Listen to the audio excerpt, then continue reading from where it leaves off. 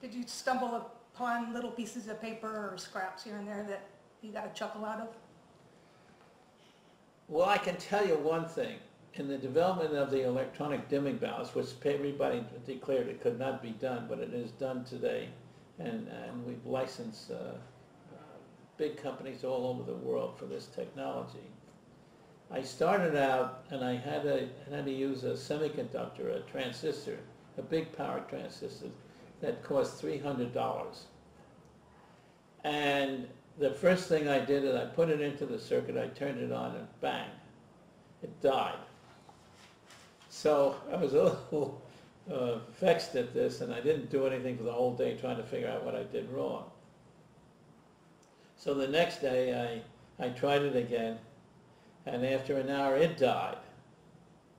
And there were six solid months every day I burned out a $300 transistor.